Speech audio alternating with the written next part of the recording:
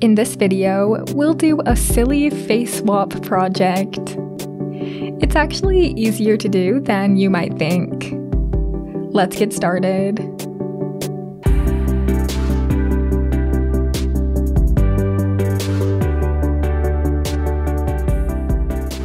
So this is the picture that we'll work with.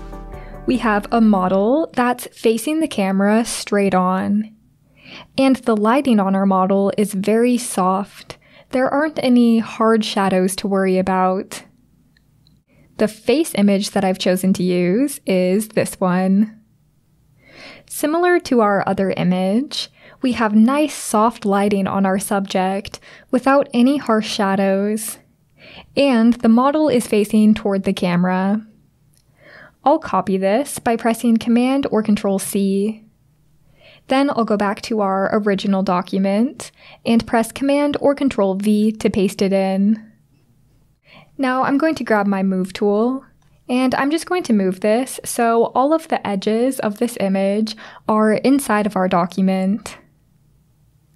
So the first thing that I want to do with this image is to remove everything except for the face. So to do that, I'm going to add a mask. Then I'm going to select the mask layer. And then I'm going to grab the paintbrush tool. Now, using the paintbrush tool, I can paint in black on our mask to hide the areas that I don't want. So I'm just going to increase the size of my paintbrush by using the bracket keys. And then I can go ahead and paint in black to remove everything except for the face.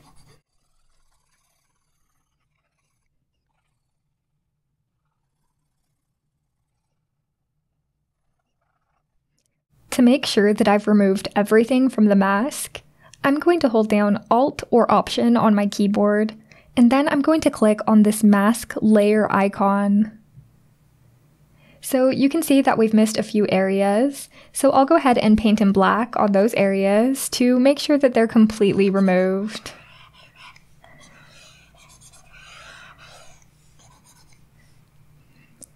To return to our normal view, I'll just select any layer Great, so now that we have that all ready to go, let's position this face layer so that it's sitting in a good spot on top of our original model.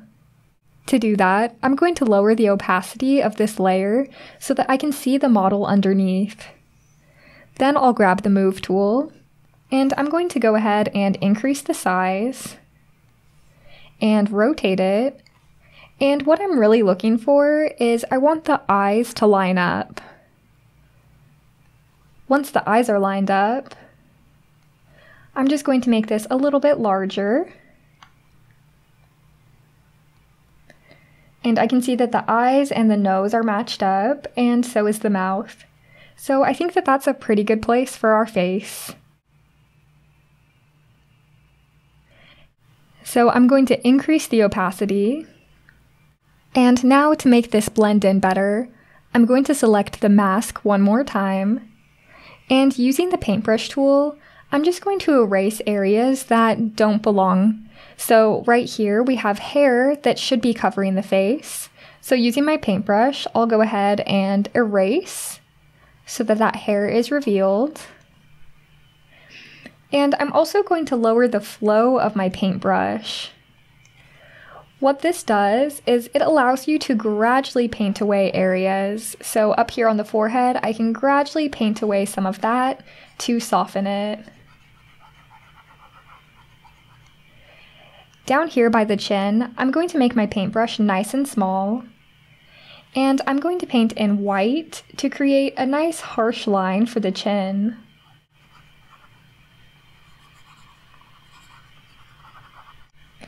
Then I can switch my paint color back to black and just clean up the edges so they look nice and sharp.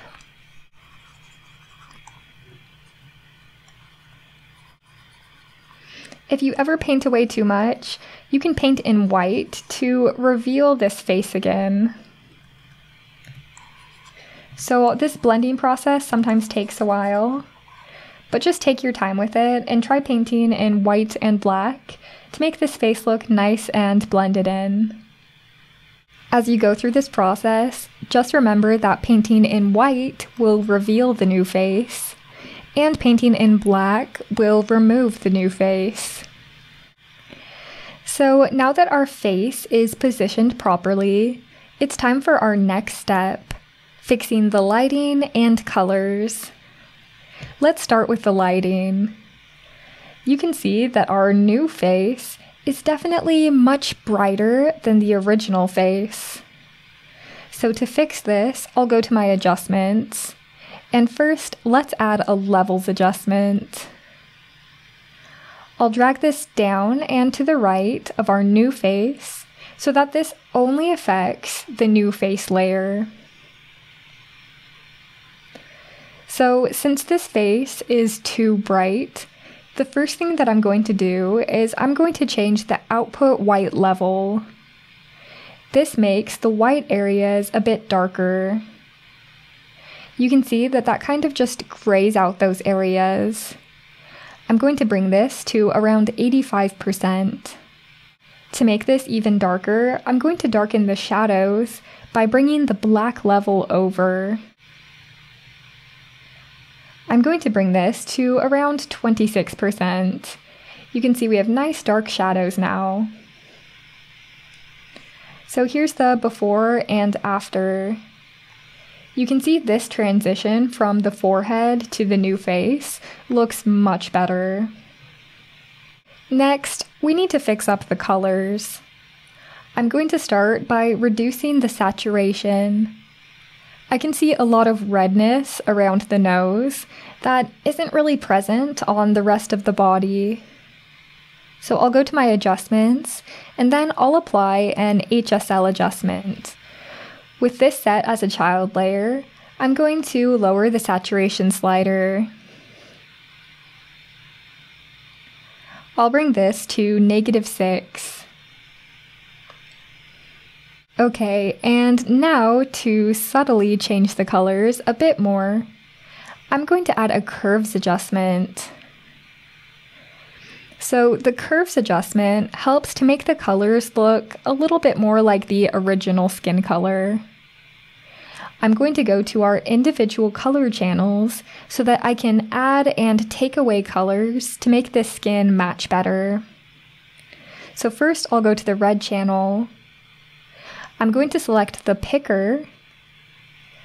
Then I'm going to click and drag directly on the face to add or take away colors. So I'll start by adding a bit of red. Then I'll go to the green channel and I'm going to add a bit of green. You can see that that has drastically improved the matching of these colors. Here's the before and after. Before and after. And as one final step, I'm going to go to the blue channel and I'm going to take away some of the blue. You can see that that skin matches a lot better than before. Before it looked a bit more magenta, but now it has the same yellow tones that our original skin has. So this is looking really good so far. As our next step, we're going to fix up the skin texture and then just fix up some small details here and there. Let's start by fixing up the left side of the face. I don't know if you've noticed, but we have a bit of a strange transition area right here. There seems to be a bit of a line. To fix this, I'm going to add a new pixel layer. I'm going to click and drag this on top of our background layer here. And then using this layer, I'm going to use the clone brush tool to fix up that area and transition it better. So I'll grab the clone brush. Then I'm going to change the setting up here from current layer to current layer and below. I'm working with a clone brush that has a slightly lower flow. To use this, I'm going to hold down Alt or Option and then sample an area of smooth skin over here. Then I'm just going to paint over this area I think that area looks a lot smoother, but I accidentally painted outside of that area, so I'll grab the eraser tool and I'm just going to erase right outside of the face where I painted too much. So now you can see the before and after of smoothing out that side of her face. The next thing I want to fix is I want to reduce the texturing here on the forehead. The original image had a lot more skin texture, and our new image just doesn't have that. So I'm going to remove some of this texture now. I'll start by adding a new pixel layer to paint on. Then I'm going to grab our paintbrush tool, and I'm going to use the color picker to sample a nice light area of the forehead. I'll apply that to our paintbrush. And now, using a larger brush, I'm just going to paint directly on top of the forehead. So you can see that by painting directly on top of the forehead, we now have no skin texture. To make this less obvious, I'm going to lower the opacity of this layer. I think around 56% looks pretty good. You can see what it looked like before, and here's the after with blurring up some of that skin texture. Our last step for cleaning up this face is removing some blemishes that we have here. I'll use a new pixel layer to do this. And then I'm going to grab the Inpainting brush tool. I'll set this brush to current layer and below.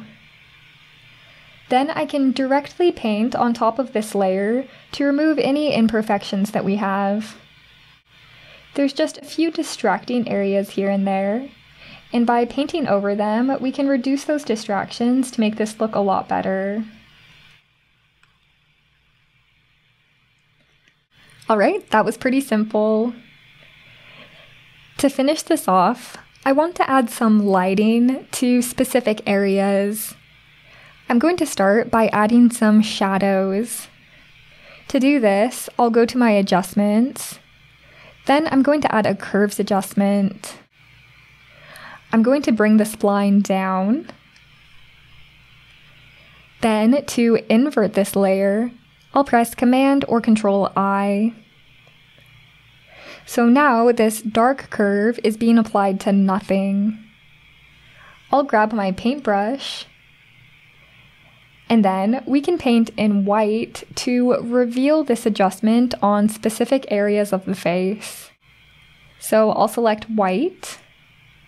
And now, using a nice low flow paintbrush, I'm going to add a bit of shadowing. In our original image, you can see that we have some darkness on this side of the face. So I want to duplicate that on this new layer. So with a nice large brush, I'm just going to paint some of that darkness on the right side. Here's the before and after of that. Next, I'm just going to darken a few key areas. I'll start by darkening up the eyebrows and darkening a little bit around the eyes.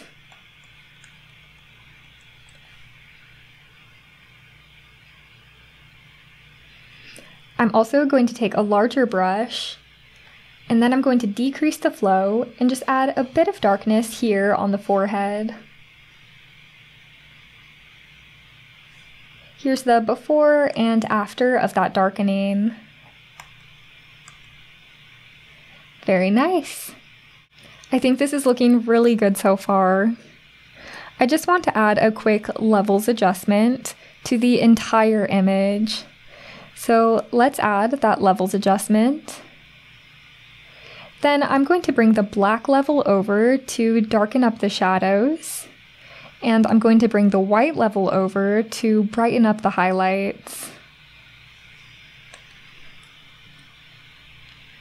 And with that levels adjustment completed, you can see how this just adds a bit of contrast to the overall image. And with that, we are done. Here's the before and the after. If you want to do more composites like this, then you can check out my compositing course in the video description. In the course, we learn everything you need to know to combine different images together. Well, thanks for watching, and I'll see you in the next Affinity Revolution tutorial.